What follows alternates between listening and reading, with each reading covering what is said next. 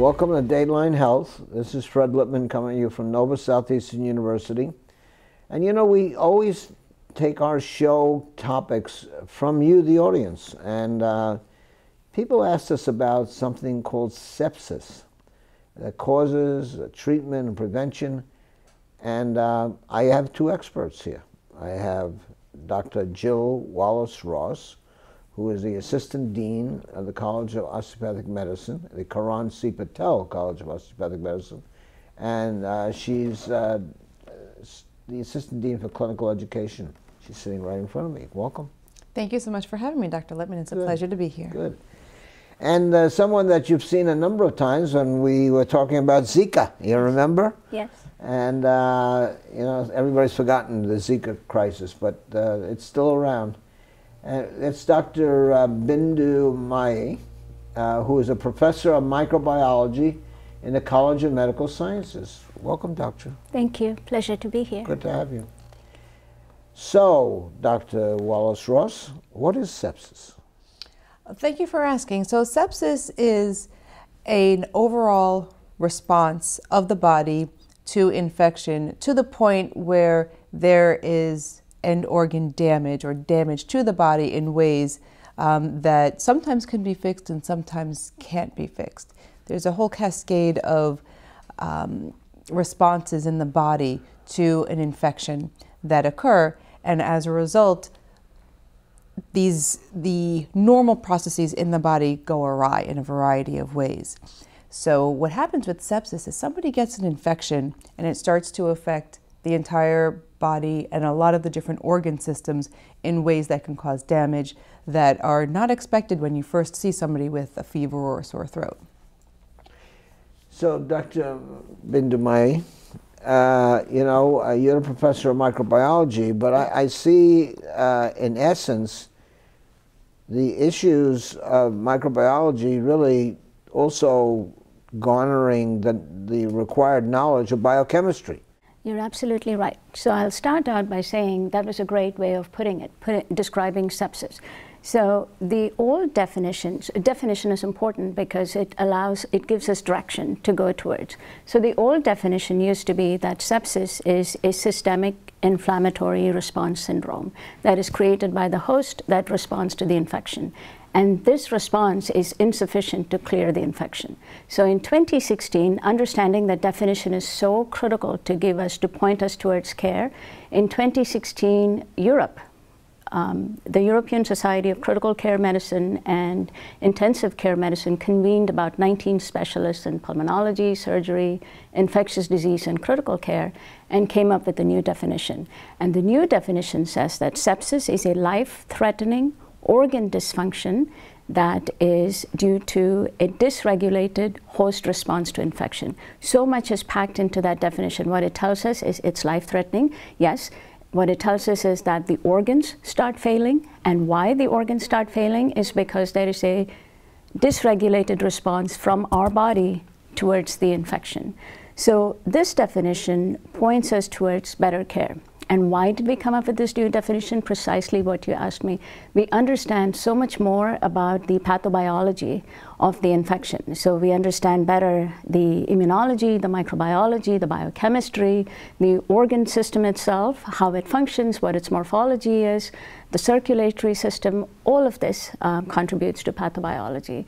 So with this new understanding, we've come up with this new definition and it points us towards better diagnostics because we realize that we have to diagnose quickly.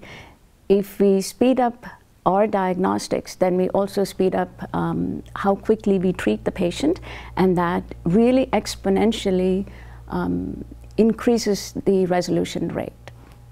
You know, uh, this is something, the reason I brought this topic to the show is because we've had, a, uh, you know, our viewers are pretty interested in things. They hear something, oh, so and so, my my brother, my my sister, my child, whatever, ends up in a hospital, you know, with whatever a, a, a cut or gash or whatever, or they were in a, a, a fall, an accident, and all of a sudden, you know, something's gone wrong.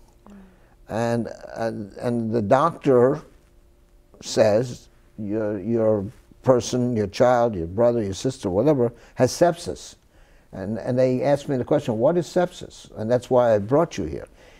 Dr. Joe Wallace Ross, uh, you know, I would assume that the, the normal, natural intervention into treating sepsis is starting to use certain antibiotics and things of that nature. So let's talk about it. Sure.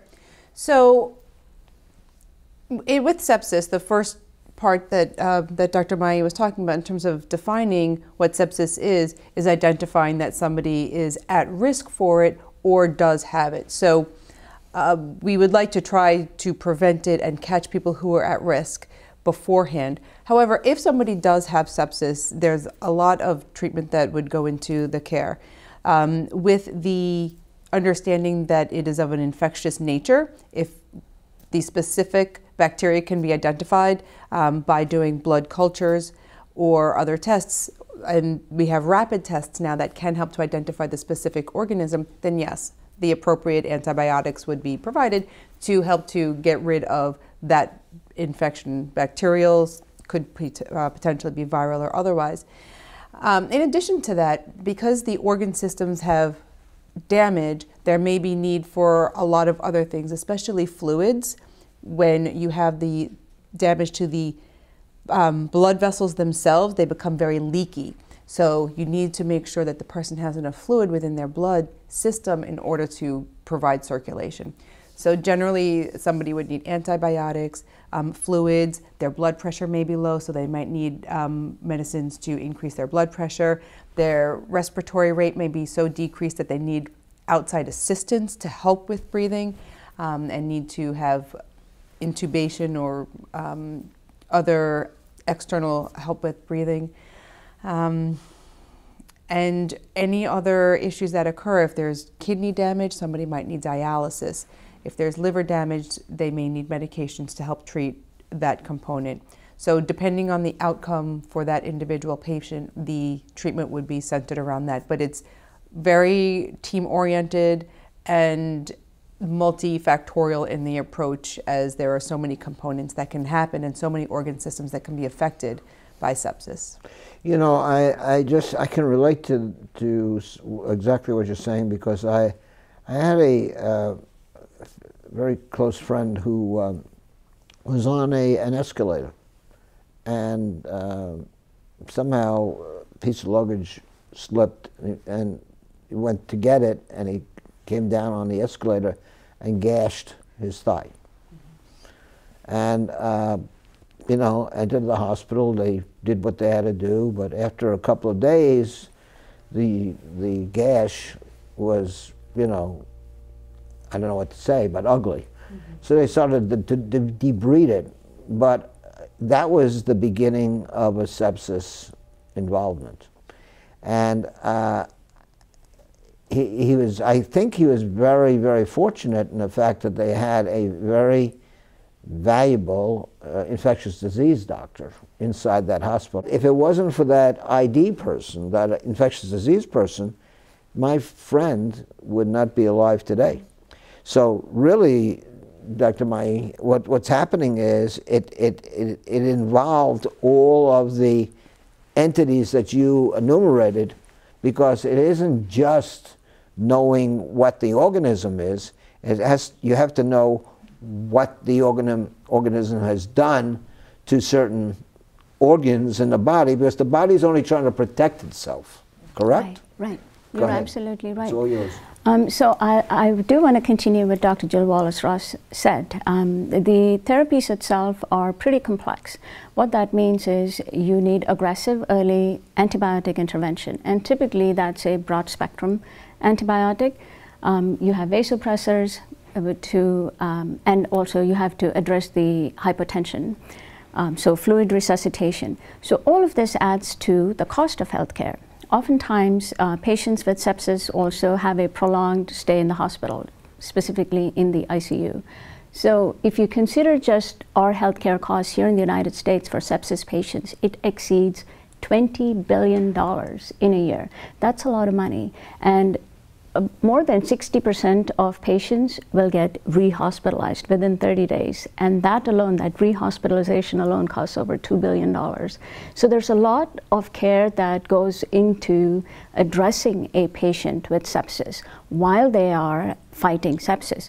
But there is something that happens beyond resolution. So let's say a patient comes in with sepsis, is addressed, is cured of the sepsis incident. What happens afterwards is oftentimes they are left with long-term consequences, physical, psychological, sometimes cognitive disabilities, and all of these have significant implications when you consider healthcare and maybe even their social interactions.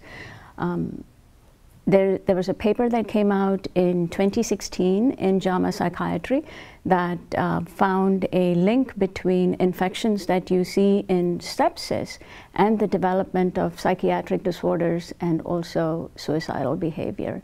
So we of course need to do more studies to really investigate how strong this linkage is and what, what does this mean for us to follow up with these patients. Um, but we are learning a lot now about what exactly sepsis is. And what that means for us is we can intervene early, but we can also follow up and provide care as and when needed. You know, it's very interesting because, uh, again, I, I, refer to this person that I've, that I've known for a long time, and it's been a seven month battle. And I can understand, you know, intellectually, psychologically, and otherwise, how, how heavy that is on the individual's psyche. This whole issue of sepsis, the reason I, I, I wanted to bring it to the people out here is because I, we heard so many uh, comments from individuals. You know, we all hear of the elderly having, you know, seeping wounds and what otherwise, which are based upon the aging of the the, the aging process. But sepsis is so concomitant with active adults uh, that we've heard it about. I can't believe my son has been, you know, hospitalized five times, six times. I can't believe my niece has been hospitalized 10 times over the last eight months. And those are the comments that we heard. So I figured, well, let's talk about sepsis. It's not a very, you know, it's not something that's normally talked about, but, you know, that's what this program is all about. Dr. Jill Wallace Ross, go ahead. So one of the, I'm glad that you brought this topic up because I think that there is a big misconception about who is at risk for sepsis. That we tend to think of a skin wound first and foremost, that it has to come from an actual cut, that the bacteria um, has to come in from that point of entry, um, which is how it can happen, but not the only way it can happen. And there's a whole host of vulnerable populations that exist that are not just the elderly. And just because someone is elderly doesn't necessarily mean that they're at risk just because they have an advanced age.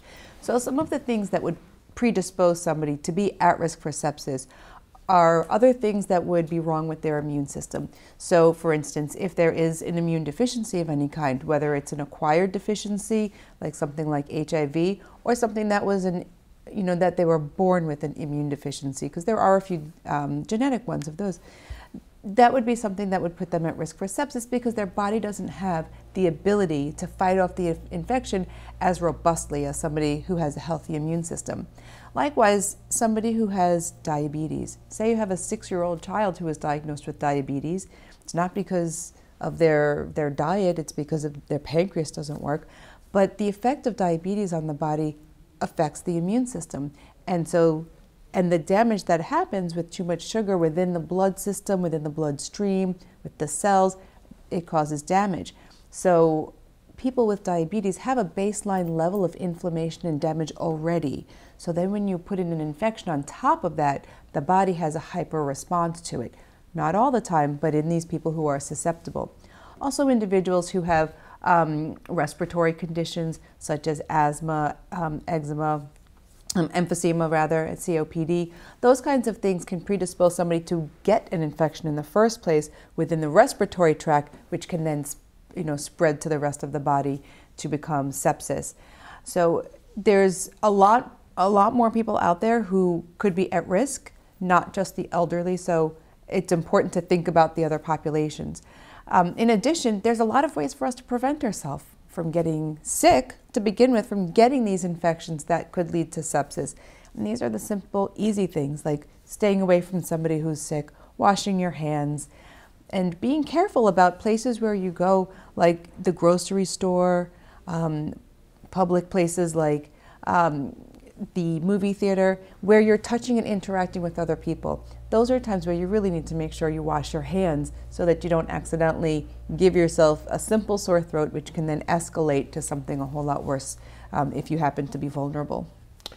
Well, I'm glad you brought that up because uh, you know I I think uh, you know going back I think three years ago when we had that that uh, very interesting variant of flu, when all of a sudden now you, you, you get all of these you know um, a Purell type of hand uh, sanitizers. I mean we have them all over the university, but you know when you really think of it, you know, uh, and you watch the nurse professionals uh, that are in uh, critical care units and ICUs, they're constantly washing in when they're in, washing out when they leave. And that's the reason, because of the, the transference of bacterial material, which you don't see, but is there, Right. correct? Right, absolutely. So to carry on where Dr. Wallace Ross left off, um, anyone technically is at risk of getting sepsis, but certain individuals are at higher risk. So for the rest of us, the overarching message is prevention. And the best way to do that is to keep your hands clean because this is the easiest way for us to auto inoculate. So, hand hygiene, great hand hygiene of soap and water. I personally prefer soap and water, but if it's not available, then I'll go for hand sanitizer. But there's also a correct way of doing it. So, according to the CDC, if it's soap and water or hand sanitizer, um, you have to scrub your hands in between the fingers, the backs of your hands, the palms. The thumbs are often neglected areas. So scrub it for 15 to 20 seconds and then wash off if it's open water. If it's hand sanitizer, you really want to keep rubbing until it's completely dry. And if you don't do that, if you just wipe it off, it is ineffective. Yes, so prevention, make sure you have clean hands. How important is that? Um, how often do we touch our faces unknowingly, potentially transferring things to eyes, nose, mouth? Easiest way to auto inoculate. They did a study where they showed that without us being aware, we touch our face on an average 25 times in an hour, and we don't even realize we do that. So when I teach microbiology to our medical students, I teach them to get into the habit of not touching your face because we are creatures of habit. So at the end of a long day, if we rub our eyes when we are tired, we'll do that. And if your hands aren't clean, then you've potentially inoculated something. So when we talk about sepsis prevention, let's say for the rest of us, uh, hand hygiene is important, staying current with vaccinations is important. If you have cuts or wounds, like your friend with the gash, I hope he's okay now, but keeping it covered and addressing it properly, either with his own doctor or a wound care specialist, whatever the case may be, but to address it, not to ignore it. If something is red to the touch or if the redness keeps on spreading, that is concerning. So get that looked at by a doctor immediately, sooner rather than later. So there are things we can do to prevent it. And prevention is possible, and I say we should absolutely focus on that. It's a dialogue that even when a patient comes in to see his physician, maybe they could have. Can this infection potentially become sepsis? Here are the warning signs. This is how you should know. And the warning signs, if you were to think of them, is in the spelling of sepsis itself. So the S, the first S could stand for shivering. Um, you have fever or you feel very cold. The E stands for extreme pain or discomfort. Um, it's the worst ever feeling. The P stands for pale or discolored skin. The second S stands for sleepy. The patient is difficult to wake up or they're confused, so there's a change in mental status. The I stands for I feel like I might die. They feel so horrible. And the last S stands for shortness of breath. So these are all warning signs. And the quicker you realize it and get seen, the better it is. You know, to that issue, uh, and I try to, in, in essence, almost preach to our viewers about the responsibility that they have to see their physicians on a re responsible annual basis. Uh, so, I mean, you know, we all feel, especially what I call that, that Superman, Superwoman era, you know, when you have between ages 17 to 45, nothing's going to happen to me. Nothing. Nothing's going to happen. But the reality is, is that so much can be viewed by people who have knowledge, i.e., the physician, uh, and i.e., other individuals, uh, because there are a certain element of prevention which allows you to fight the incursion of, for example, a, a damaged part of your body or an organ. Correct, Dr. Joe Wallace-Ross? Let's, let's hear about what your suggestions is to our people out here relative to seeing their doctors.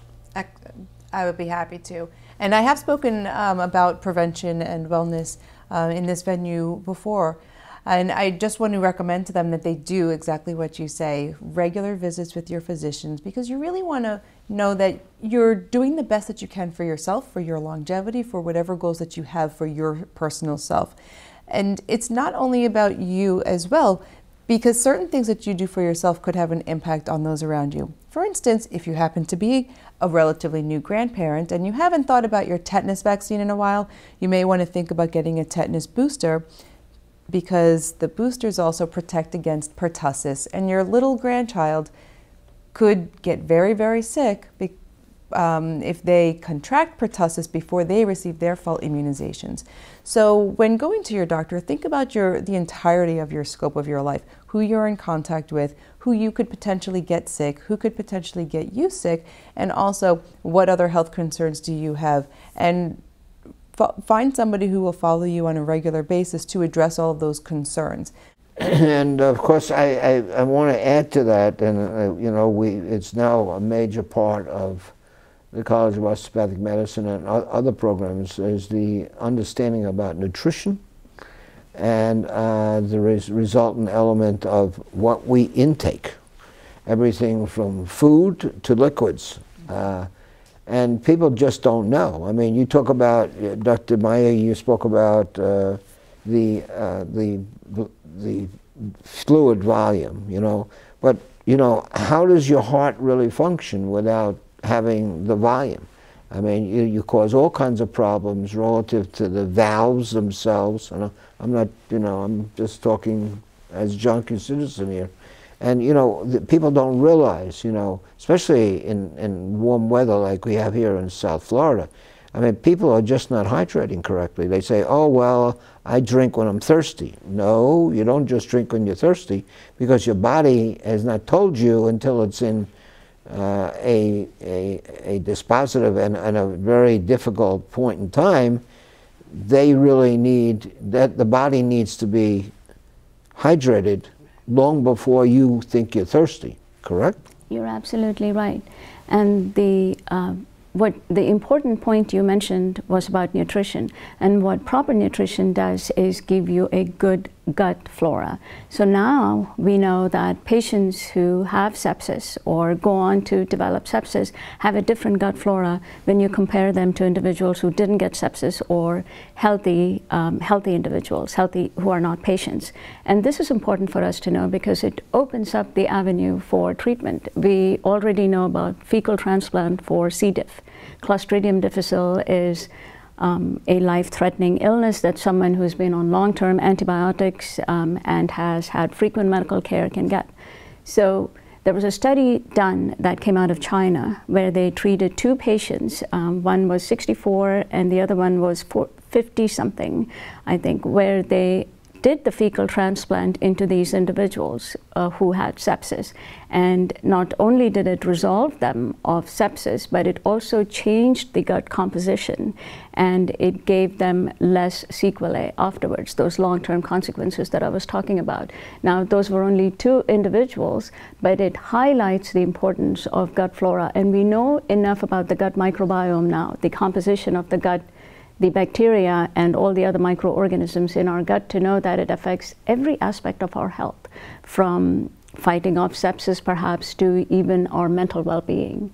So I cannot underscore the importance of proper nutrition and that of course also includes hydration. Yeah, and we're down to the last three minutes of the show, and I want to thank you both for offering some comment to this. I, I know it's uh, it might be a very special area, but I, felt responsible to try to answer the questions of the people who asked me, "What's going on with my, you know, with SEPS?" I keep hearing this person going back and going back. But I, I really think, again, you, you, both have pointed out that uh, a lot of what occurs can be altered or prevented based upon our own ability to be our own advocates. In other words, it's our responsibility to have our examinations with our physicians. I think that 99% of our physicians are willing to listen to what you have to say. Am I correct, Dr. Jill Wallace Ross? I would hope that the doctors that are out there seeing patients are going to listen to what their doctors, uh, that the doctors will listen to what the patients have to say. And there's an interesting new campaign out there about endometriosis where the woman is hesitant to speak up about her symptoms. And on the commercial, it says, you know, tell the doctor the truth.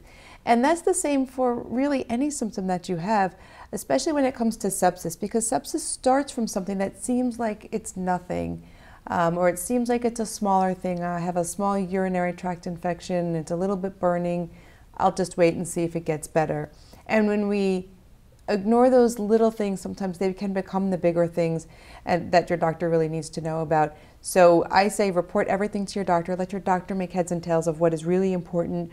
Um, let them ask the questions to try to figure out exactly what is going on. And if something is just not getting better and it is persisting, be persistent back and put the effort forward to try to get whatever help that you might need. Well, thank you both for being here. We're down to the last 25 seconds of this show.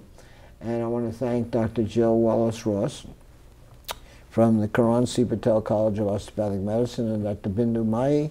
Uh, by the way, congratulations on being a full professor, professor of microbiology at our College of Medical Sciences. You've both been a pleasure. I hope folks that you got some answers to some of your questions. I know it's been, you know, a little, I was wondering whether we should do a show on this, but really it, it, it relates to caring for yourself. You got to report, you got to talk to your doctors.